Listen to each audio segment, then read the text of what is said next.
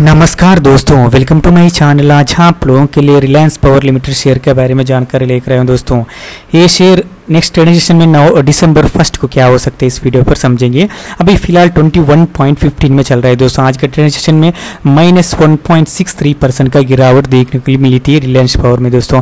अभी लगातार अक्टूबर 26 से अक्टूबर 26 तारीख से बहुत बड़ा अपटर्न में था शेयर ऑलरेडी फ़िलहाल। अपटर्न में चल रहे वहाँ से 23.80 तक गया था।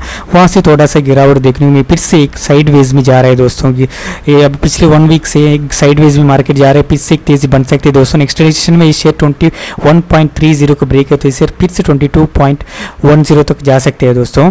वहाँ से भी नीचे आया तो इस शेयर का पहला सपोर्ट जो है twenty point nine zero twenty point nine zero से भी नीचे आए तो ये share twenty point fifty five तक दिखा सकते हैं नेक्स्ट ट्रेडिंग सेशन में, ठीक है? आप लोग सोच कर इन्वेस्ट करना पड़ेगा।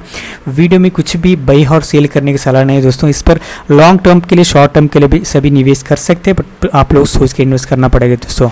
वीडियो में कुछ भी बाई और सेल करने जानकारी नहीं है।